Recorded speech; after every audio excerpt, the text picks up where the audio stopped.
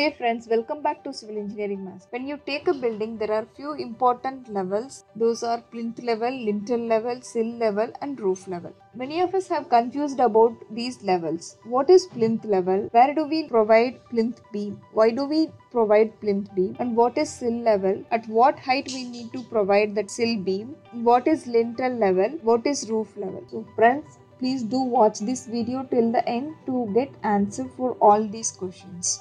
Before entering to the video, I wanted to thank all the subscribers and viewers for providing continuous support to this channel. Here I am going to inform you that super thanks button has been enabled in our channel. When you click on any video in our channel, you will be getting one thanks button like this. So if you click on that, you will be directed to this page if you really wanted to support this channel if you really like the content if you like the video the content is very useful to you then you can pay some amount and then support this channel. By paying super thanks you can buy a one time animation on your videos and send a personalized colorful and customizable comment in the video's comment section First, let me explain you about what is plinth level. Foundation is the major important part in any building. It is also called as substructure. Plinth level is the level where the substructure ends and the superstructure starts. Let me explain you bit clearly.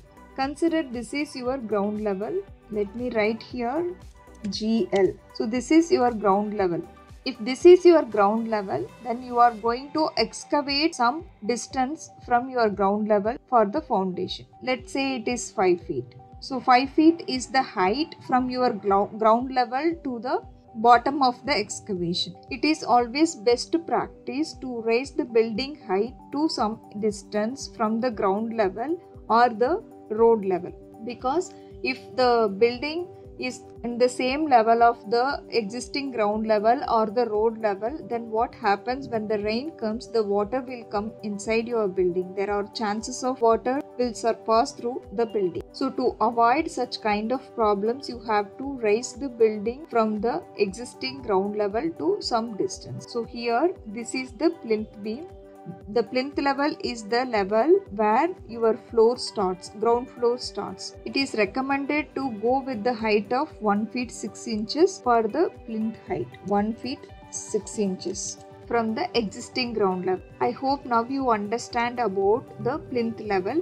Let me tell you why do we need to provide this plinth beam. Plinth beam is provided to carry its own self weight and also to carry the load of the masonry wall. We construct masonry wall on the top of the plinth beam. So to carry the load of the masonry wall and to carry its own self weight plinth beam is provided. So apart from this plinth beam is held to prevent the settlement of the masonry wall also plinth beam is connecting all the columns. If you see here it is connecting all the columns. Consider this excavation height as 5 feet and floor height as 10 feet then what happens if you take this column the total height of the column is 15 feet. When the horizontal force like wind wind force or earthquake force is acting on the structure what happens? The column tends to break. So to avoid that problems the plinth beam is provided. So here the plinth, plinth beam is breaking the column height into 5 feet and 10 feet. So if you if you consider the column height for the calculation you have to consider only 10 feet height. So the plinth beam is acting as a interconnecting member of all the columns. So this is the purpose of plinth beam. Let's recap once again. Plinth level is the level where the substructure ends and the superstructure starts. Plinth beam is provided to carry the load of the masonry wall and also it is connecting all the columns. It helps to reduce the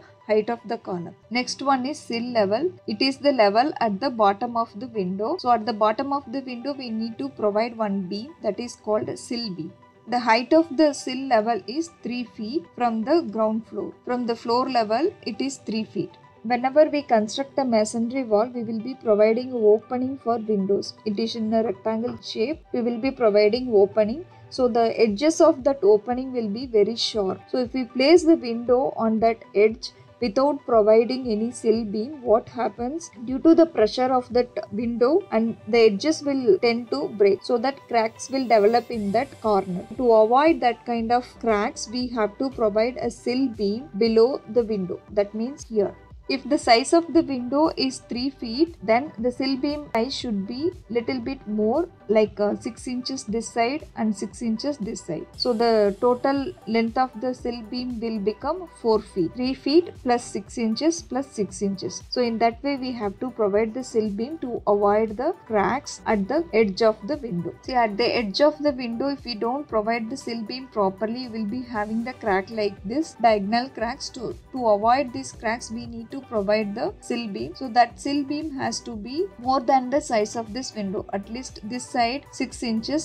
extra we have to provide and that side also 6 inches extra we have to provide. You can see the cracks like this. So to avoid these cracks it is mandatory to provide the sill beams at sill level. Next one is the lintel level. It is the level at the top of the door and window. So at the top of the door and window we need to provide the lintel beam as well like this. The height of the lintel is 7 feet from the ground floor level. From the floor level it is 7 feet height. So at that level we need to provide the lintel beam. This lintel beam also we can provide as a through lintel like window, door and here also see window. It is a kind of a tie beam. It act, it act as a tie beam. We can provide a through lintel as well as a cut lintel. So where we need to provide a through lintel means wherever we will be having the slab projection inside if you see some of the houses some of the rooms will be having inside slab projection as a loft or something. In that cases and we have to provide the through lintel. If it is not needed we can provide a cut lintel. Cut lintel means no need to provide till here. So like this you can stop. At sill level how you have provided only little bit extra projection the same way lintel level also you can provide little bit extra projection. No need to provide the beam throughout the length. So it is it has to be provided at the 7 feet height. Why we need to provide this lintel beam is because above the lintel like above the door frame we are going to construct a masonry wall. So the masonry wall load will come directly on the frame of the door. That will not sufficient to take care of that load. What happens if we don't provide the proper lintel beam then cracks will develop crack cracks will form. So in order to avoid that we are going to provide a lintel beam to take care of that masonry wall load above the lintel level. Lintel beam is also necessary to take care of this sajja load. Sajja projection is provided from the lintel beam only. Here i have not shown the projection because i wanted to show you the dimensions clearly. That is why i have not shown the sajja projection. Here also the sajja projection has to come. You can see the lintel cracks lintel level cracks. If we don't provide the lintel beam properly you will be getting cracks like this. So to avoid these cracks we have to provide the lintel beam at lintel level there is a slab projection for loft purpose. So if you want this kind of slabs and all you have to provide the through lintel or else you can provide the cut lintel next one is the roof beam. This is the roof beam. It is provided at the roof level.